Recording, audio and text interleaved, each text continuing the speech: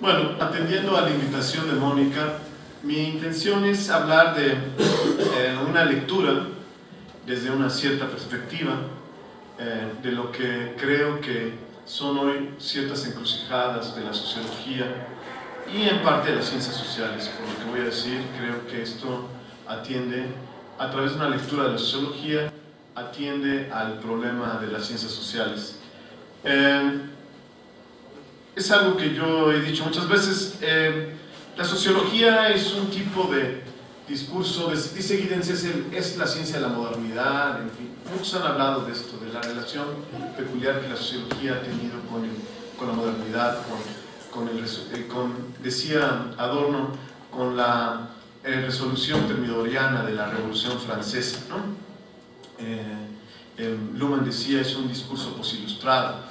Eh, la sociología nace efectivamente en el siglo XIX, después de la Revolución Francesa. Casi hasta los manuales de sociología hablan de Comte como un desencantado, conservador, este, enojado, preocupado por lo que estaba pasando en Francia, en, contra, ¿no?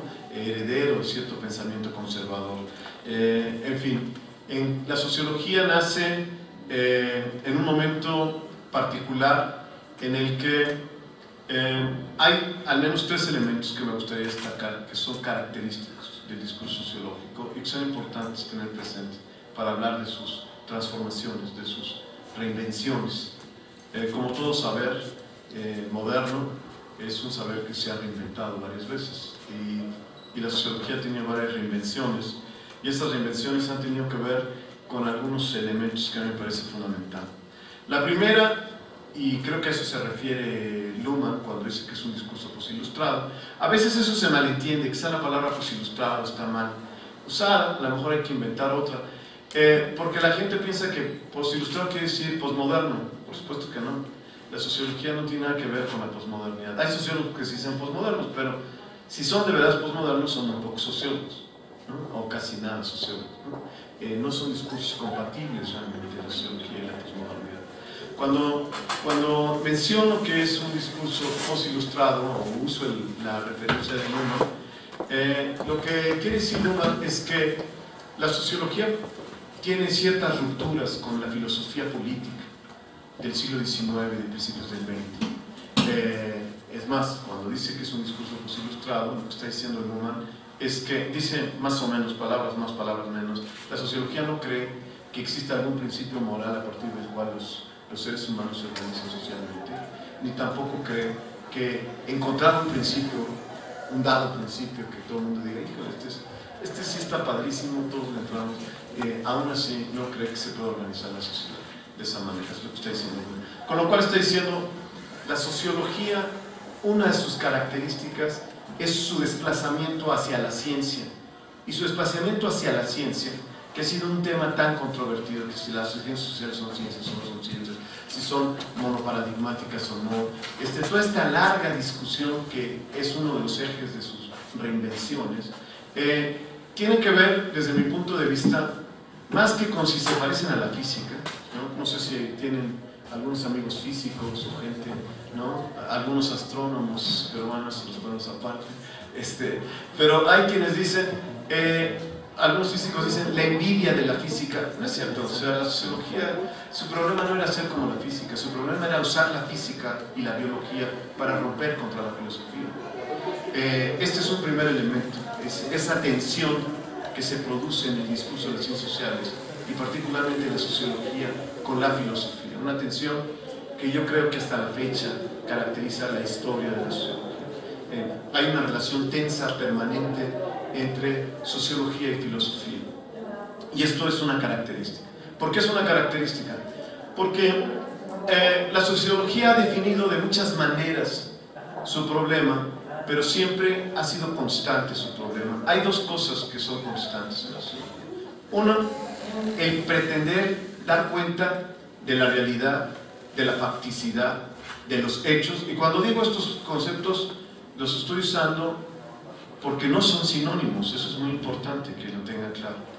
Una posición realista no es lo mismo que una posición positivista o instrumentalista eh, o, basada en la facticidad. eh, de, determinados elementos. El positivismo no es realismo en ningún sentido. Alguna vez escuché a alguien muy famoso que decía que creía que el positivismo creía en una sola realidad. Bueno, pues con toda la fama que tiene no sabe nada de positivismo. El positivismo precisamente lo que trata es de prescindir de algún supuesto sobre la realidad. Eso es por eso Kant habla, se, primero se burla de los filósofos de la Ilustración diciendo, ellos estaban preocupados por las esencias abstractas. Y por eso piensa que la, que la etapa positiva es superior, porque abandona la especulación filosófica, la búsqueda de esencias. Su problema es la relación entre fenómenos. No dice la, la, relación entre objetos de la realidad, ni dice las causas profundas eh, eh, creadas desde la realidad o ninguna otra cosa. Dice relaciones entre fenómenos. Eh, con lo cual está siguiendo un viejo razonamiento que viene de Hume, que es la idea de que no se puede construir conocimiento científico porque para ello, para darle sustento a la observación empírica, eh, es necesario un supuesto que no está en la observación empírica, que es precisamente un supuesto ontológico sobre la regularidad del universo. Dicho de una manera más simple, eh, si yo observo que todos los días sale el sol, eh, ¿en base a qué afirmo que mañana va a salir el sol? El argumento de Hume es que no tengo ningún sustento serio, científico, para decir que mañana va a salir el sol. ¿Por qué? Porque en realidad parte del supuesto que la realidad va a ser igual ahora que como ha sido en el pasado. Algo que no está en la observación, está más allá de la observación. Eso es lo que sustenta la historia del positivismo. Aunque ellos sí creen que hay ciencia y por lo tanto abandonan el agnosticismo humeano. Pero todo su problema es la base empírica, la construcción de la base empírica.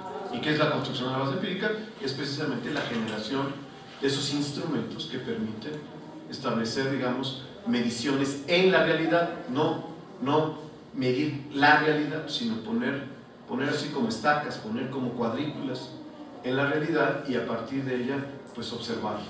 Este es, dicho de una manera muy simplista, el proyecto positivista. Bueno, el proyecto positivista o las posiciones realistas. Digamos que el materialismo de, Marx, eh, hoy alguien lo, podría decir en, términos filosóficos modernos, es una posición realista.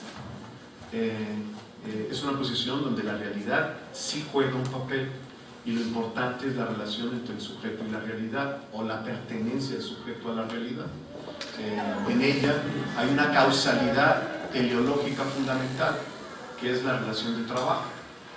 Entonces, el sujeto actúa en la realidad y la realidad actúa sobre el sujeto.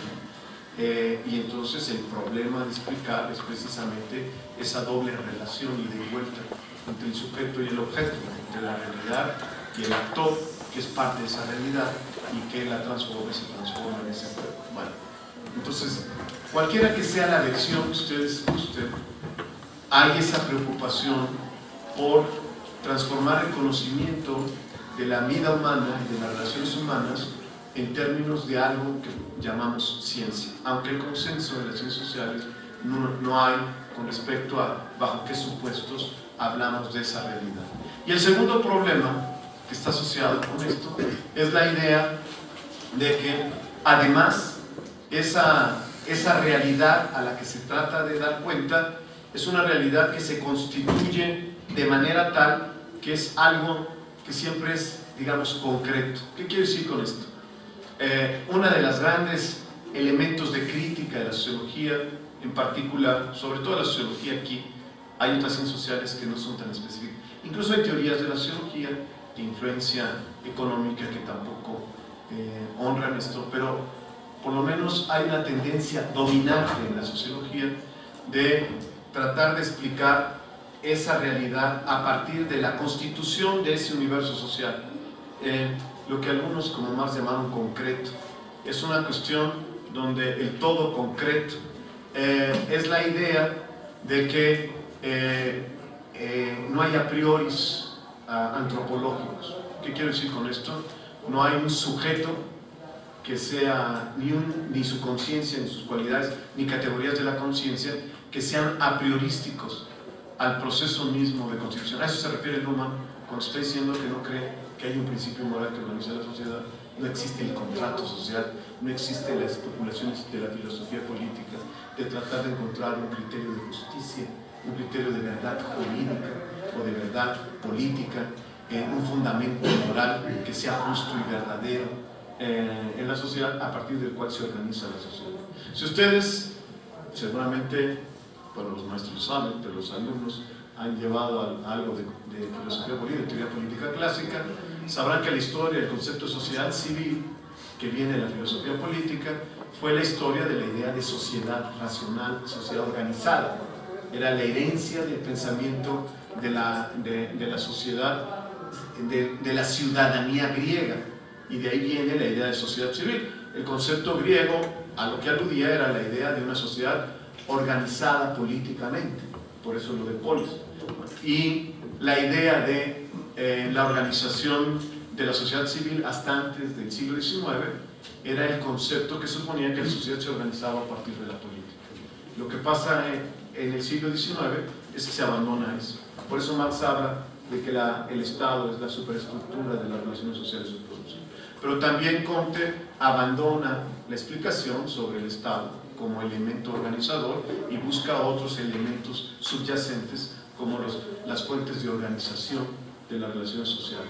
La sociedad organizada no emana del pacto político. entonces, por eso, eh, esta discusión sobre lo concreto es muy importante, porque trata de evitar algunos a priori. Ningún conocimiento este, abandona todos los a priori, pero trata de evitar ciertos a priori, como son aquellas concepciones antropológicas que parten de la idea de que los seres humanos son racionales, de que existen ciertas cualidades eh, fundamentales de la conciencia, del sujeto racional, que tiene ciertos atributos como sujeto y que tiene ciertas cualidades lógicas o, ciertas categorías constitutivas de la conciencia. Un ejemplo típico de una gran crítica a eso pues, es las formas elementales de la vida religiosa de, de, de Precisamente lista las categorías usa la filosofía y dice, todas estas categorías filosóficamente nos llevan al absurdo, solo se puede explicar sociológicamente. Cuando critica a Kant diciendo eh, la idea kantiana de las formas puras de la sensibilidad, el tiempo y el espacio, dice, pues, el concepto kantiano de espacio no sirve para nada, es imposible, porque el espacio solo existe como distinción social, no existe un espacio abstracto, vacío de contenido. Solo el espacio es cuando hablamos del espacio de aquí, el espacio de allá, el espacio de del espacio de la ciudad, del espacio o del territorio de una nación, o, de la, o construimos coordenadas abstractas del espacio sobre la base de un espacio que está organizado eh, a través de las distinciones que producen las relaciones humanas. Bueno, en fin, esto es eh, una característica y a eso me refiero con que hay esta tensión. Eh, hay una preocupación por descubrir qué es lo fáctico esta tensión se expresa en otra dimensión, la tensión entre filosofía y ciencias sociales, que es el tema más complejo al que eh, las ciencias sociales se han enfrentado y el que ha llevado a muchas de sus reinvenciones, que es la relación entre filosofía y ciencia, pero desde el punto de vista del problema moral, digamos. Al final de cuentas, esta, esta pretensión de hacer ciencia contra la filosofía y contra los modelos abstractos de la filosofía, de construir un individuo ideal, de construir un principio moral ideal abstracto, de construir una idea del contrato como unos cuantos individuos que se reúnen y entonces, y a partir de eso construir un modelo de organización social.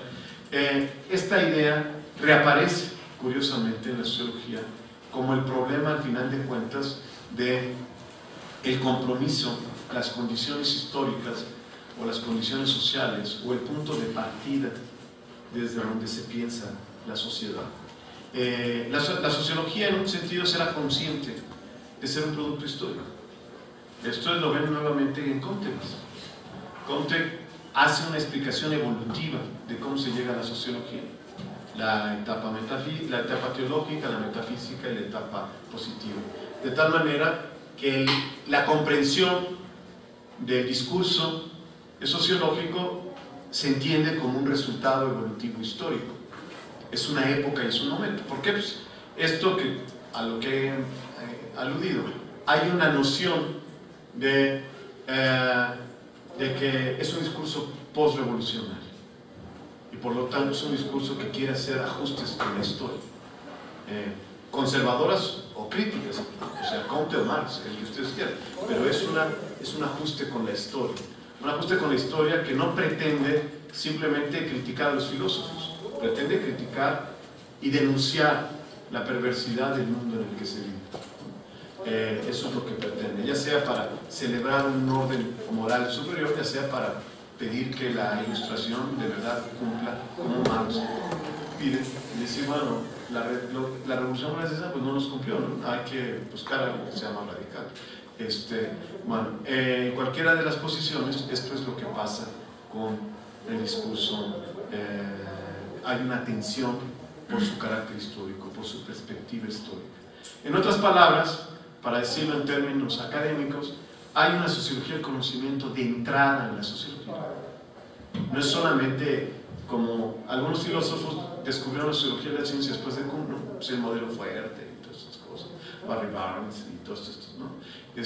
No, pues Barry Barnes es un, para la sociología es un, ya es es un producto joven del tema, ¿no? O sea, esto viene desde el origen mismo de la sociología. Desde el punto de vista de la sociología hay siempre esta tensión entre ser un producto histórico concreto de una sociedad, ser objeto de sí misma, interpretarse como producto de un tipo de sociedad y al mismo tiempo eh, tratar de justificar epistemológicamente la trascendencia de ese conocimiento, la validez de ese conocimiento. Eso hace que reaparezca el problema moral. ¿Por qué reaparece el problema moral? Porque entonces cuando estamos hablando de la validez, estamos hablando también de otro problema.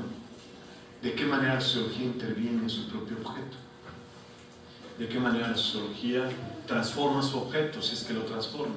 O dicho de una manera simple, como se los preguntaban algunos de ustedes cuando vinieron a estudiar aquí a la facultad, ¿y para qué sirve eso? O sea, si ese conocimiento de verdad hace algo en la sociedad, cambia la sociedad. ¿Por qué la sociología no arregla el caos en el que estamos viviendo? Pues, pues, esa pregunta, no de esa manera tan elemental, pero esto es lo que ha estado también presente, digamos. Ahí es donde entra el problema de la ilustración. En la sociología, el problema de la ilustración se vuelve más complejo no desaparece, pero se vuelve más complejo. Por eso no es posmodernidad, porque no es una concepción escéptica sobre el papel de la razón. Piensa, sigue apostando a que el conocimiento sirve para intervenir en la sociedad, pero esto también ha sido toda una paradoja en la historia del desarrollo de la sociología. Ha habido diferentes versiones eh, y ha habido diferentes reinvenciones sobre el tema. Bueno, estos elementos que me parecen muy importantes, en, una, en su última reinvención, digámoslo así, antes de la que debe venir ahora, esperemos, eh, este, que ocurrió más o menos hace 30 años, eh, surge de una serie de debates y discusiones sobre el tema a finales de los años 50 y entre los años 60 y 70. Una de sus características más importantes fue el tema de la disputa sobre la no neutralidad valorativa de las ciencias sociales, la crítica a las ideologías, eh, de muchas maneras Y fue producto de debates que surgieron en muchos terrenos. Eso es lo que hizo que entre los años 60 y 70, y por cierto fue el motor que permitió la creación del centro, eh, eso hizo que la discusión, sobre todo al final de los años 70, ya en algo casi excesivo, convirtiera el debate de la teoría social más en un problema de orden epistemológico que de orden sustantivo. O sea, el problema era más de discutir cuál era el fundamento de los saberes de las ciencias sociales y las disputas ideológicas entre las diferentes versiones. De ahí es de donde surge esta, esta necedad, desde mi punto de vista, de decir que la sociología es multiparadigmática, lo cual me parece un planteamiento incoherente, eh, lo voy a explicar. Eh, es incoherente porque si nosotros estamos de acuerdo con el argumento de Kuhn, una ciencia solo puede ser ciencia y se puede identificar como ciencia si se mueve dentro de un paradigma. Por eso le llama al paradigma, sobre todo a partir de los años 70, Kuhn, matriz disciplinar. Eh, eh, no podríamos decir que la sociología es sociología y al mismo tiempo multiparadigmática, porque estaríamos diciendo un contrasentido. Este, si es multiparadigmática, pues cada paradigma es una ciencia. Eh, es, por definición el argumento este, lo que define un campo de conocimiento es el consenso paradigmático. Si hay un consenso paradigmático entre los beberianos, pues entonces la ciencia se debía llamar beberianismo. Y si hay un consenso paradigmático entre los marxistas, pues la ciencia se debía llamar marxismo. Este, no tendría por qué llamarse sociología. Eh, son consensos paradigmáticos. Eh, ahora, si nosotros somos eh, ni empiristas ni realistas, sino tenemos una idea más ingenua de que la realidad está organizada por, por órdenes, pues podemos decir que es sociología, porque el orden sociológico hay una serie de teorías que comparten ese orden. Eso es una concepción casi kantiana o precontiana de del universo y de la realidad. Pero si no tenemos un supuesto como ese, es muy difícil eh, decir que es multiparadigmático. ¿Pero por qué surge esto? Surge de este debate y de esta gran discusión y de una serie de elementos que fueron muy importantes. Hubo tres debates que a mi entender, y yo creo que al entender de mucha gente, fueron cruciales y que marcaron el derrotero de las ciencias sociales en su Uno fue el debate entre Adorno y Popper, que se conoció como la disputa del positivismo en la sociología alemana, a final de los años 50, y cuya mayor eh, consecuencia e importancia no fue el debate de Popper y Adorno. Hubo una consecuencia que comenta Dahrendorf de ese debate, y es que Adorno se vio completamente arcaico y superado por la realidad, eh, completamente descontextualizado del mundo en el que estaba viviendo. Eh, esto se hace evidente por la ruptura que su propio discípulo Habermas hace de Adorno en la participación del propio debate. Eh, posterior a Adorno sigue el debate, Habermas escribe un artículo criticando a Popper y, con, y como es la jerarquía académica alemana y europea, pues evidentemente ahora sí que los maestros no le responden a los achichicles, entonces no le responde Popper a Habermas, que era así como el asistente en ese momento de Adorno, sino que le responde Hans Albert que era otro, digamos, discípulo de la escuela de Popper. Y ahí se desarrolla un debate que fue mucho más fructífero, porque ahí eh, Habermas desarrolla su posición. Y ahí se hace evidente algo que ya se sabía, porque eh, en su historia crítica de la opinión pública y en el desarrollo de la, misma época de conocimiento e interés, marcaba con toda claridad este, su ruptura con la Este, pero en fin, ahí es un debate muy importante. Los elementos fundamentales del debate es que él replantea lo que entiende por teoría crítica. Lo replantea en términos de que replantea tanto la posición lukácsiana como la de Adorno, Horkheimer, Marcus. Casi toda esa década Habermas se va a dedicar a cuestionar a sus maestros. En Ciencia y Técnica como Ideología, Habermas le dedica un artículo a Marcuse en su, en su cumpleaños. Solía ser así de aguafiestas, ¿no? También se lo hizo, se lo hizo este, en homenaje a Marcus y Pelas, Y, este, y, lo, y en homenaje a Gadamer y Pelas también le pegaba. Eh, este, estas, estas formas de hacer artículos de homenaje, los que los criticaban, bueno, eh, esto fue muy importante. Este fue un elemento que marcó toda una trayectoria y que aparece en, por ejemplo, en autores como Giddens, aparece en muchos de los sociólogos de los años de finales de la segunda mitad de los 70 como un antecedente fundamental. El otro, en el texto de Historia del Análisis Sociológico de Nisbet y Botomor, este, en fin, en toda una producción eh, sociológica entre los segunda mitad de los años 70 y los 80, este debate estará ahí presente. El otro debate es el Congreso de Filosofía de Londres de 1965, entre Kuhn y Popper. Eh, este es un debate diferente, no se da propiamente en el terreno de las ciencias sociales se dan en el terreno de la filosofía de la ciencia, pero es muy importante porque lo que hace Kuhn no es tanto que Kuhn tenga una teoría mejor, la teoría de Kuhn puede ser también tan criticable como la de Popper. Lo importante es que Kuhn, con sus argumentos, no tanto si estamos de acuerdo con la teoría, si hay paradigma o no paradigma, estas cosas es otro problema. Lo importante de la crítica, eh, él escribe un ensayo que se llama Lógica del Descubrimiento o Psicología de la Investigación es un ensayo realmente muy brillante en el que demuestra las inconsistencias de Popper. Sobre todo demuestra que la teoría falsacionista de Popper no se sostiene, o sea, que sigue siendo tan ingenuo como los positivistas.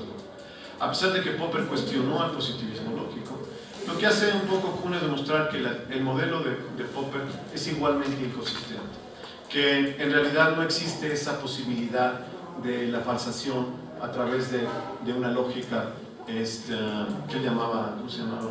Este, una lógica negativa, ¿cómo se llama? Un modus tollens, ¿no? El modus tollens eh, y a través de eh, su distinción entre contexto de descubrimiento y contexto de justificación, y que este tipo de nociones fundamentales para Popper y para sociedad procesialista no se sostenían. Eh, y es, muy, es un artículo muy brillante porque en verdad demuestra las inconsistencias de Popper. Uno no tiene, no es como las peleas de box, uno no tiene por qué decir, bueno, ya no quiero a Popper, entonces ganó. o sea, demuestra las inconsistencias, no necesariamente quiere decir que la teoría que proponía Kuhn hubiera sido mejor. Pero lo importante de esto, más allá de Popper, es que, eh, como reconocería más tarde ejemplo, eh, se había roto el consenso sobre una teoría normativa de la ciencia. Eh, ya no había un consenso sobre una teoría normativa de la ciencia. en un congreso en Nuevo México, en el que también participa Kuhn, y que participan otros filósofos que serían importantes, Patrick Supies y este, Hilary Putnam, etc., Mm, todos estos filósofos dirían, eh, se acabó el consenso. Y esto fue muy importante porque se acababa la idea de que la ciencia se definía a partir método. Se acababa el consenso de la idea de que eh, al final de cuentas eh, había un criterio que distinguía entre la ciencia y la no ciencia. bueno, el tercer debate fue el debate de Habermas con Gadamer. El debate de Habermas con Gadamer es un debate diferente porque es un debate que se da en el terreno de la hermenéutica. Eh, hasta el momento en que Gadamer publica Verdad y Método, en el terreno de las ciencias sociales, que no necesariamente en el terreno de la filosofía, porque Heidegger y Husserl habían cuestionado mucho estas cosas, pero en el terreno de las ciencias sociales, el texto de Verdad y Método se volvería un elemento fundamental en redefinir la distinción entre comprensión y explicación algo que se había considerado como el paradigma después de Dilthey para distinguir entre ciencias sociales y ciencias naturales. Eh, esto redefinía muchos elementos en términos de cómo entender la ciencia eh, y también redefinía algunos de los problemas que siempre arrastrarían el pensamiento Habermas, que es la idea de si puedo trascender el horizonte del presente. Eh, dicho de otra manera, lo que yo hoy estoy diciendo lo estoy diciendo dentro de un contexto y una realidad determinada y adquiere sentido dentro de esto. ¿Cómo esto puede trascender ese momento? Eh, y si lo que hoy pasa no tendrá sentido diferente dentro de 50 años. Para decirlo de otra manera, este, si el 2006, bueno, y además no es un problema de, como algunos lo veían, como un problema de agnosticismo. Gadamer no estaba planteando un problema de agnosticismo. Gadamer estaba diciendo, por supuesto que uno puede ver toda la realidad Imaginemos que alguien puede ver a través de, un, de una máquina de tiempo, puede ver todo lo que pasó en el 2006, todo, todo, ¿sí? ver quién votó, cuántos votaron, todo eso, y saber todo. Eh, aún así, una persona eh, que hoy ve a través de una máquina de tiempo, qué es lo que pasó en el 2006, eh, ese hecho tendrá un sentido distinto hoy que el sentido que tendrá dentro de 50 años. Eh, ¿Qué es lo que está diciendo A veces la discusión hermenéutica se ha manejado muy mal.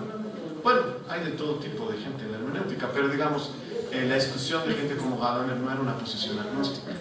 La posición de Gadamer, o era agnóstica, pero no en el sentido de decir, yo no puedo conocer, yo no, yo no, no sé si es la silla lo que estoy observando allí, ¿no? O no, no sé si somos una, eh, una bola de cerebros metidos en una cubeta fantasía. No ese tipo de agnosticismo. Lo que está diciendo Gadamer era simplemente el papel del carácter situado, cultural, eh, intelectual, políticamente del conocimiento. El conocimiento, no porque no pueda observar lo que ve, el conocimiento en ciencia social y cualquier conocimiento, no puede observar lo que ve y no sea cierto lo que está viendo. El problema es que eso no es lo único que hay en el conocimiento. El objeto en sí mismo, eh, para los sujetos, no tiene ningún valor, para cualquier sujeto de conocimiento. El objeto en sí mismo tiene que ser traducido a un marco de interpretación. Eh, aunque yo lo esté viendo, sé que ahí está, pero, eh, pero yo lo tengo que traducir a un marco de interpretación. Adquiere relevancia cuando yo lo remito a una tradición de conocimiento. este debate es muy importante porque cuestionaba algo que estaba en la tradición de Marx desde la tesis 11 de Fourier. Lo que los filósofos han hecho es interpretar el mundo, lo que se trata es de transformar. En otras palabras, la crítica a la realidad. Lo que a Habermas le preocupaba era una teoría crítica que fuera capaz de marcar una diferencia en la crítica a lo que él llamaba las distorsiones sistemáticas de la comunicación, en otras palabras, al uso del poder en la distorsión, el uso del poder y de la ideología como forma de manipulación. Eh, y, y entonces él creía que debía haber una crítica más fuerte. esto es lo que marcó el desarrollo de las ciencias sociales en las últimas tres décadas. Ya me tardé muchísimo. bueno, este, voy, voy rápido. Esto es lo que lleva a varias cosas que son importantes a partir de la década de los 80. Uno, eh, hay, un, hay un abandono, hay una pérdida de consenso en términos epistemológicos y metodológicos. Si nosotros hoy vemos el horizonte de las ciencias sociales, hay todo tipo de corrientes, todo tipo de propuestas, todo tipo de visiones en la discusión de Se rompió el consenso. Esto ya lo decía Giddens a principios de los 80, Jonathan Turner decía, ¿no? Es decir, se rompió el consenso, no hay un consenso en el terreno metodológico epistemológico. Eh, y esto ha permanecido hasta el día de hoy, aunque con ciertas características particulares. Sin duda, el modelo dominante, al menos en el terreno de la política pública, y por su peso en la política pública también, dependiendo de los países, en el desarrollo institucional de las escuelas de ciencias sociales, ha sido un modelo, digámoslo así, que pareciera que, que no sabe que, pasó nada, que no pasó nada en los últimos 30, 40 años, o, o en 60 años del siglo XX, y defiende un modelo duro de ciencia, un modelo que es lo que se ha conocido como rational choice, public choice, la nueva macroeconomía política. La nueva macroeconomía política se convierte en un gran modelo de teoría social. Está detrás de muchas teorías. A lo mejor algunos de ustedes les enseñan el dilema del prisionero que viene de la teoría de juegos. Y es lo primero que les enseña el maestro para enseñarles que los seres humanos, que no es tan fácil la cooperación y que depende de las circunstancias tendemos a no cooperar y que por lo tanto hay que entender la cooperación como algo. Eso para la sociología no tiene sentido, por lo menos para las grandes corrientes de la sociología. ¿Por qué? porque para la sociología, como dije, los sujetos no son a priori. Entonces, el ladrón, ¿no? el dilema del prisionero, el ladrón no es un sujeto abstracto, que quién sabe dónde vino, que viene con su eh, compañero, que es otro sujeto abstracto, y de una manera estratégica saben, ¿lo traiciona o no lo traiciona? Ah, eh, puede ser su compadre, al cual no traicionaría aunque le pusieran 50 años, puede ser un, sujeto al que odia y entonces lo traicionaría al día siguiente y no importa si hay dilema o no hay dilema. Este, puede haber muchas razones, en el fondo esto se saca de contexto. Eh, así no son mm, eh, las relaciones por lo menos para los.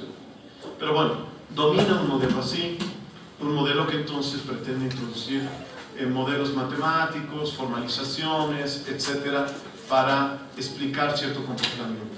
Y, pretende, eh, digamos, explicar el comportamiento de la política pública, el comportamiento, la relación Estado-sociedad a partir de ese tipo de relaciones costo-beneficio.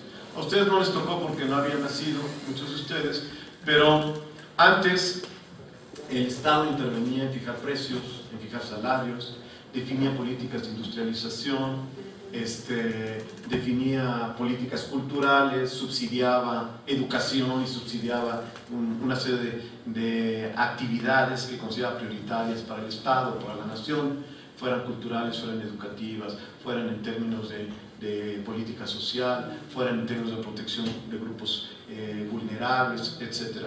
En países, sobre todo como Estados Unidos y en buena parte de Europa, surgieron políticas que se llamaban affirmative action, que eran formas de protección de minorías en las que se les trataba, había políticas específicas de privilegio para esos sectores.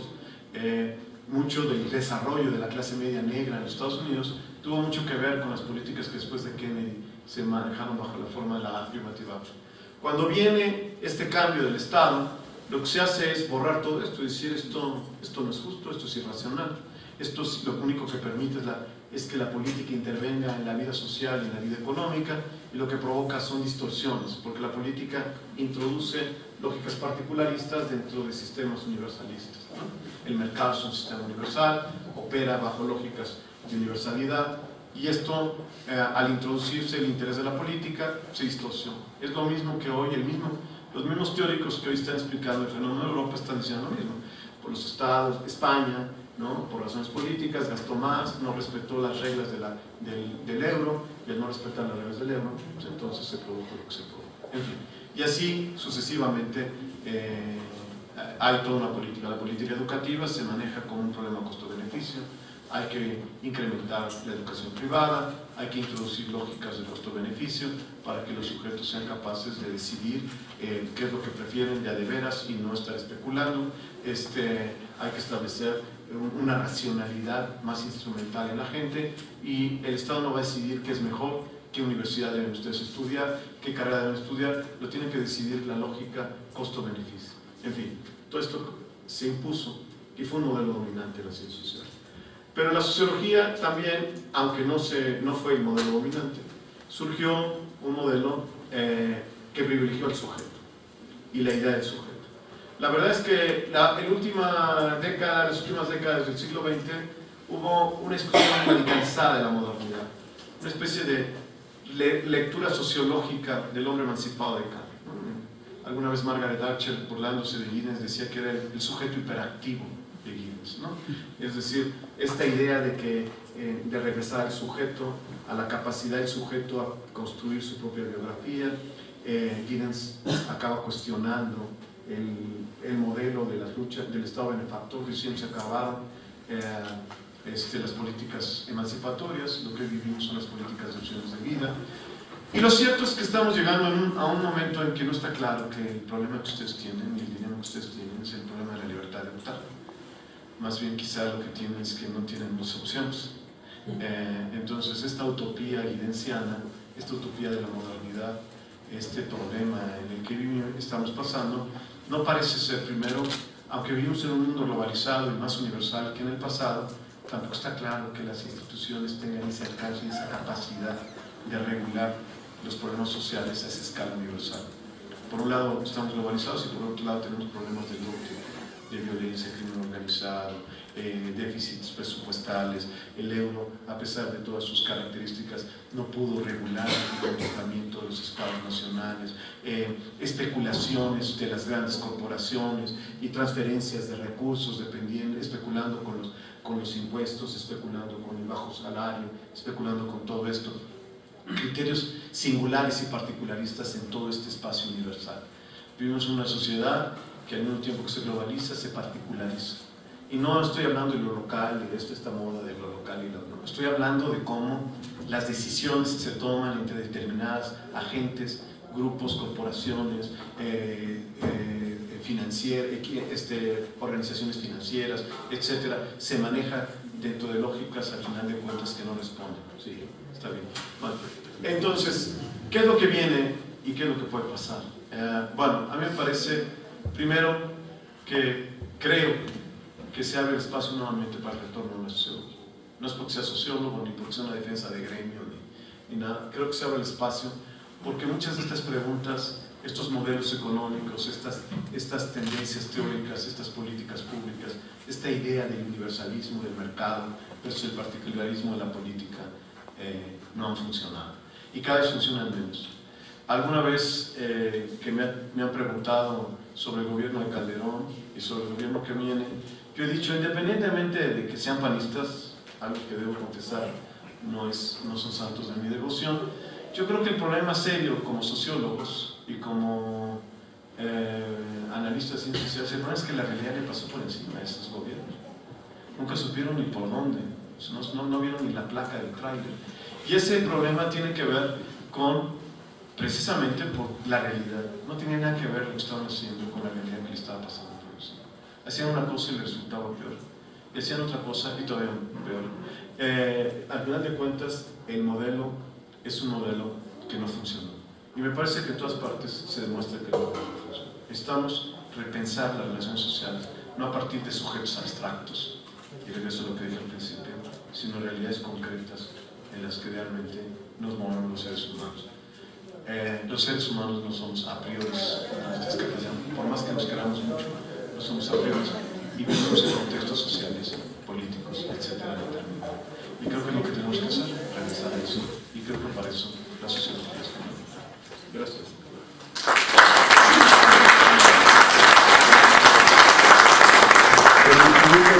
¿No sería más prudente que la universidad y su facultad saliera extramuros precisamente para organizar a la sociedad civil? Yo igual soy apartidista, no creo en ningún partido político, creo más en las personas que en las instituciones y siento que somos más de 50 millones de pobres, pero que nos están dividiendo y dicen divide y vencerás y nos vamos con la finta precisamente de que nos están dando, pero no nos están dando nada. Para mí en lo personal, yo viví una situación muy difícil, este, tuve que hacer huelga de hambre y me doy cuenta que mis propios compañeros así lo manejan, la sociedad es inducida. Y yo lo veo aquí, no votes por Televisa, no votes por, no veas TV Azteca, pero nos dividen. Yo soy más, no sería más propositivo que la universidad saliera junto con los estudiantes de la Facultad de Filosofía, junto con la Facultad de Ciencias Políticas, a, a la calle, a educarnos. Yo creo que es un poco arrogante decir que la, que la sociología, las ciencias sociales tienen que educar a la gente, ¿no? Eh, primero hay que decir varias cosas. Una, el mundo en el que vivimos ha sido transformado por las ciencias sociales. Este, aquí hay un problema y es creer que yo, digamos, abrí muchos frentes y no se pueden abordar todos. Pero yo creo que un error importante fue la idea de que la sociología era así como más que ilustración, o sea, que era como eh, una verdad que finalmente lograba realizar el fin que no se había alcanzado por la ilustración. Eh, esto no es así. La sociología aporta y ha seguido aportando, y yo creo que va aportando, igual a la ciencia política, la administración política, y aporta de muchas maneras.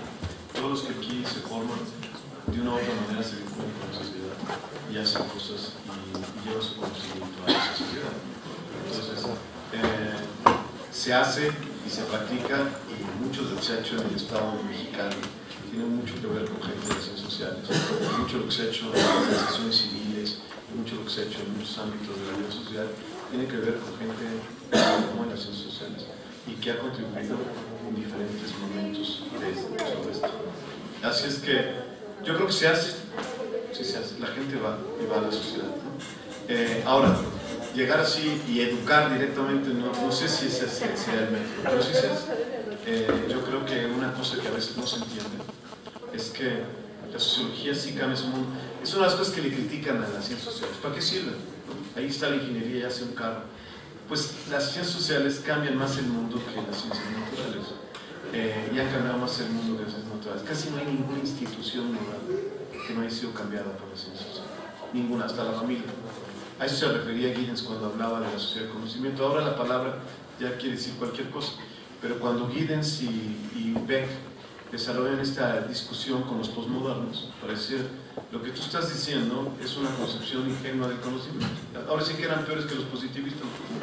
Como, no, como el saber no iba a lograr esa ilustración, esa realización plena de la razón, pues entonces nada servía.